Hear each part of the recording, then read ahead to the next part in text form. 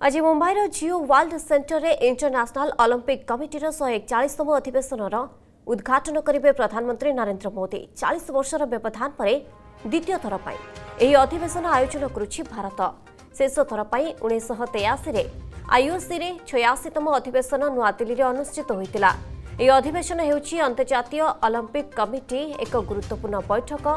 IOC ଅଧିବେଶନରେ Olympic ଗେମ୍ସର ভবিষ্যত সহিত জড়িত গুরুত্বপূর্ণ নিষ্পতি নিয়ে